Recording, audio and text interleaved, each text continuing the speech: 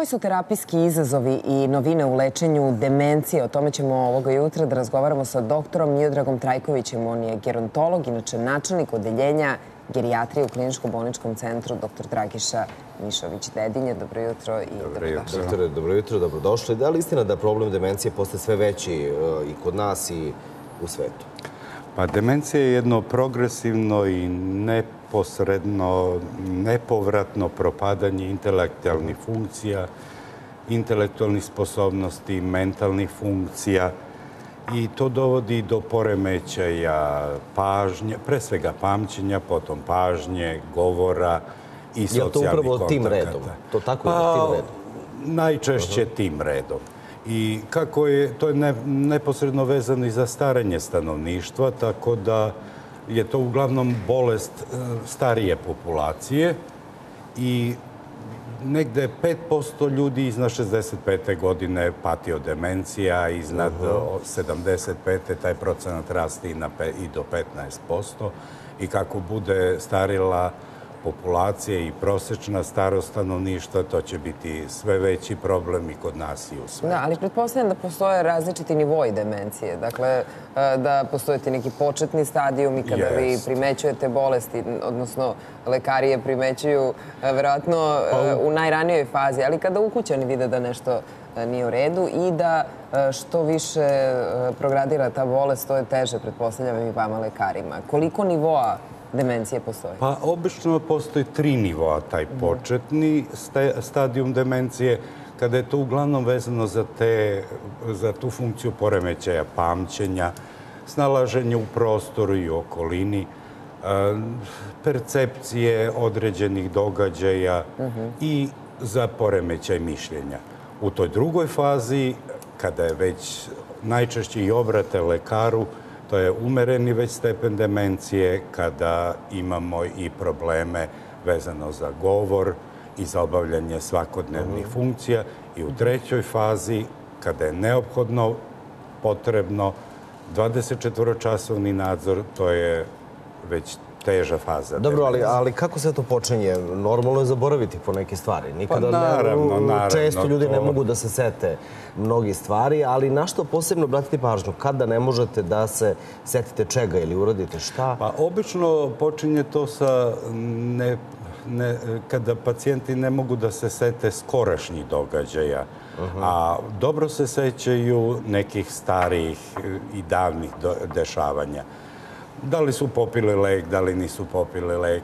Naravno, to uvek ima problema vezano i za obavljanje kućnih uh -huh. aktivnosti, pošto govorim uglavnom o starijim ljudima. Dobro. Ali kada to kreni sa poremećajem mišljenja, poremećaj, takozvana inverzija sna, e, pa, pacijenti su pospani preko dana, popodne postaju uznemireni, to je taj takozvani fenomen zalaska sunca i obično noću se ispoljavaju ili nesanica ili čak i povremeno agresivnost uz određene stepen ili depresije na smenu sa određenim stepenom ka, agresivnosti. Kažu da uh, postoje lekovi koji sve to mogu da ublaže, umire, da pomognu, ali Jeste. da ne postoje lekovi koji će izlečiti Nažalost, demenciju. lekova još uvek nema koji mogu da leče demenciju ali od 97. postoje određeni lekovi, to je Donepezil, na našem tržištu se registrovan kao Aricept.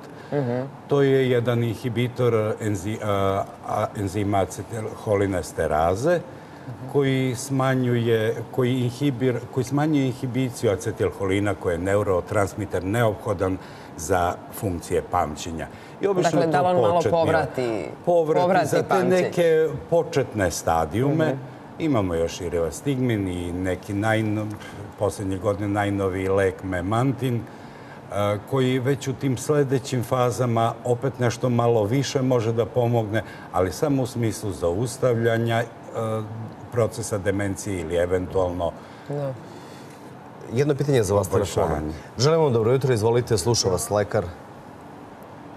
Halo, dobro jutro, na vezi ste i u programu. Dobro jutro, molim vas, uh, uh, ja imam jedno pitanje. Imam 70 godina, Da li me čujete?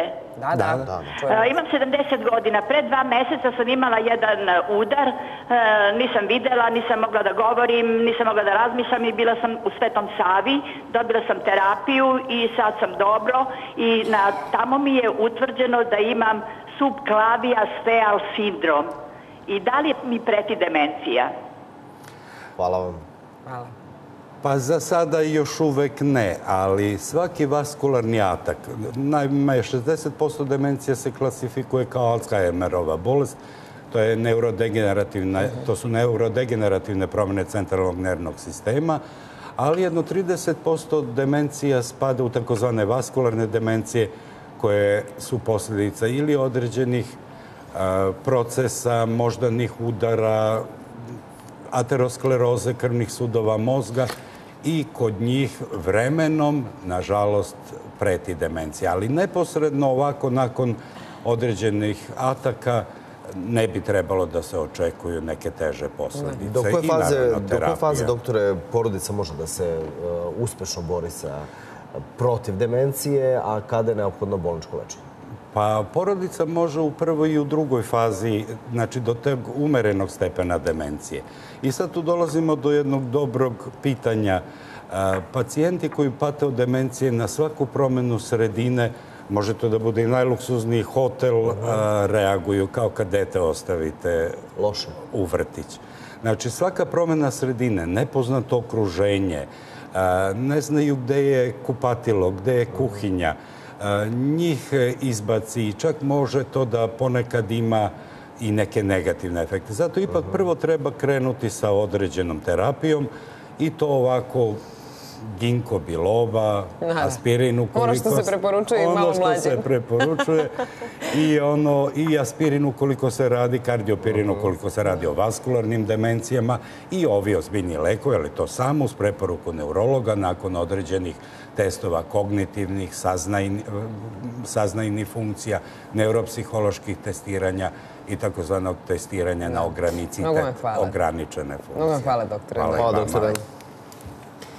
Federalni istražni bir